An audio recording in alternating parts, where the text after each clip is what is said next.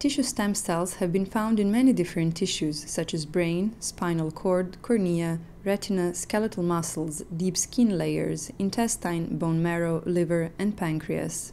They play an essential role in replacing old, dead, or damaged cells in the tissue they reside in. For this reason, tissue stem cells are largely used in the clinical practice to treat blood cancers like leukemia, for example. In case of leukemia, hematopoietic stem cells are used for the treatment.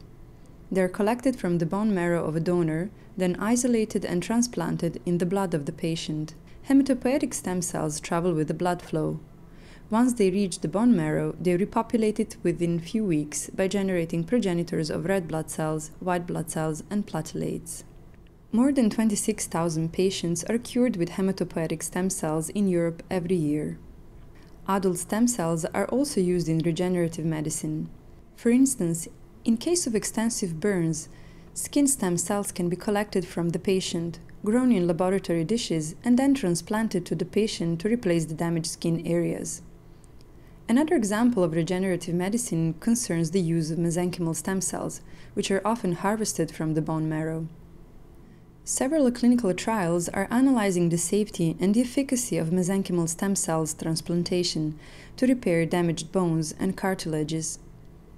Other trials are studying their role in modulating immune system in autoimmune diseases and in regenerating cardiovascular and nervous systems upon injuries such as heart attacks or strokes. At the moment, around 2,500 clinical trials employing mesenchymal stem cells are ongoing around the world. Adult stem cells are playing a key role in personalized medicine as well. Starting from a tissue biopsy in which adult stem cells are present, it is possible to grow a mini organ in vitro on laboratory dishes. Mini organs can be replicated in many copies, and different drugs can be tested on each of them.